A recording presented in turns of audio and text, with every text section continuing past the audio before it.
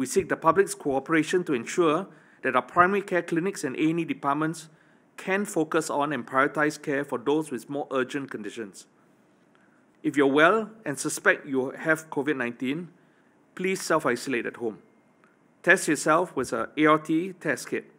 And if you test positive, you may continue to self isolate at home and follow the instructions under Protocol 2. If you have a need to confirm your self test, you may book an appointment at any of our combined test centers or CTCs or quick test centers or QTCs.